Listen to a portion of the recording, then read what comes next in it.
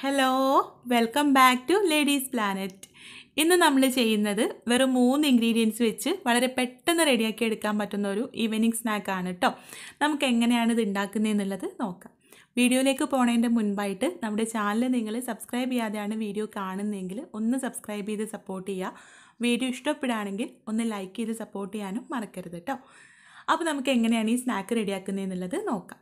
അപ്പോൾ ഈ ഒരു സ്നാക്ക് റെഡിയാക്കാനായിട്ട് ഒരു കപ്പ് ഗോതമ്പ് പൊടി ഒരു പൗളിലേക്ക് ചേർത്തിട്ടുണ്ട്. ഇനി നമ്മൾ ഇതിലേക്ക് ചേർക്കുന്നത് തേങ്ങ ചിരവിയതാണ്. ഞാനിവിടെ അരക്കപ്പ് തേങ്ങ ചിരവിയത് ഇതിലേക്ക് ചേർത്ത് കൊടുക്കുകയാണ്. ഇനി ഇതിലേക്ക് ഒരു കാൽ ടീസ്പൂൺ നല്ല ജീരകം അതായത് ചെറിയ ജീരകം ചേർത്ത് കൊടുക്കാം. ഈ സ്നാക്കിനകത്ത് ഈ ജീരകം കടിക്കുമ്പോൾ നല്ലൊരു ടേസ്റ്റാണ് കേട്ടോ നിർബന്ധമൊന്നുമില്ല. വേണമെങ്കിൽ ചേർത്ത് കൊടുത്താൽ മതി. അര ടീസ്പൂൺ കറുത്ത എള്ളും കൂടെ ചേർക്കുന്നുണ്ട്. കാണാനൊരു ഭംഗിക്ക് വേണ്ടിയിട്ടാണ് കേട്ടോ ഇനി ഇതിലേക്ക് ഇതിലേക്കൊരു കാൽ ടീസ്പൂൺ ബേക്കിംഗ് സോഡ ചേർക്കുന്നുണ്ട്. നമ്മുടെ അപ്പസോഡ എന്നൊക്കെ പറയില്ലേ അതന്നെയാണ് അപ്പോൾ ഈ ബേക്കിംഗ് സോഡ ചേർക്കുന്നത് നമ്മുടെ ഈ ഒരു സ്നാക്ക് നന്നായിട്ട് സോഫ്റ്റ് ആയിട്ട് കിട്ടാൻ വേണ്ടിയിട്ടാണ്. ഇനി മധുരം ബാലൻസ് ചെയ്യാൻ ഒരു നുള്ളു ഉപ്പും കൂടെ ചേർത്തിട്ടുണ്ട്. അപ്പോൾ ബേക്കിംഗ് സോഡ നിർബന്ധമൊന്നുമില്ല കേട്ടോ.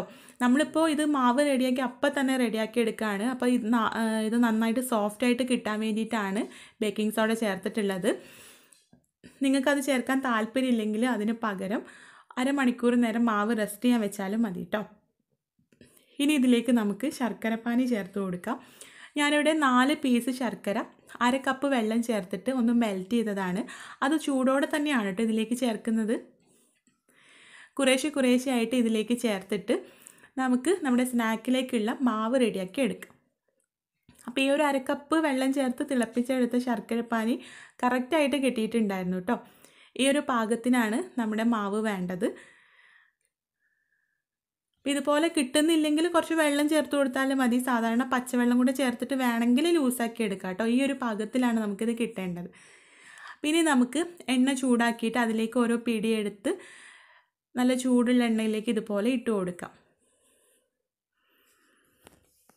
അപ്പോൾ കയ്യിൽ ഒട്ടിപ്പിടിക്കാതിരിക്കാൻ വേണ്ടിയിട്ട് കുറച്ച് വെള്ളത്തിൽ കൈ ഇടയ്ക്ക് ഇങ്ങനെ മുക്കി കൊടുത്തിട്ട് ഇട്ട് കൊടുത്താൽ മതി കേട്ടോ ഇത് ഇട്ട് കൊടുക്കുന്ന സമയത്ത് എണ്ണ നല്ല ചൂടുണ്ടെങ്കിൽ പെട്ടെന്ന് തന്നെ ഇത് കരിഞ്ഞു പോകാനുള്ള ചാൻസ് ഉണ്ട്. പിന്നെ ഉൾഭാഗം ഒന്നും വെന്തിട്ടും ഉണ്ടാവില്ല.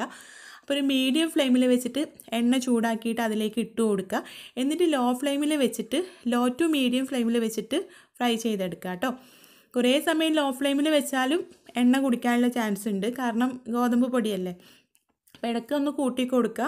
ഒന്ന് കുറച്ച് കൊടുക്കുക. അങ്ങനെ ഒരു മീഡിയം ചൂടിലിട്ടിട്ട് ഫ്രൈ ചെയ്തെടുക്കുക കേട്ടോ. ഇപ്പോൾ നമ്മളിത് ഫ്രൈ ചെയ്തെടുത്തിട്ടുണ്ട്. ഇത് നമുക്ക് എണ്ണയിൽ നിന്ന് മാറ്റാം. ഇനി ബാക്കിയുള്ളത് ഇതുപോലെ തന്നെ ഫ്രൈ ചെയ്തെടുക്കാം. അപ്പോൾ ഇത്രേ ഉള്ളൂ. നമ്മുടെ സ്നാക്ക് ഇവിടെ റെഡി ആയിട്ടുണ്ട്. വളരെ സിമ്പിളാണല്ലേ എന്നാൽ നല്ല ടേസ്റ്റും ഉണ്ട് കേട്ടോ. നിങ്ങൾ ട്രൈ ചെയ്ത് നോക്കണം.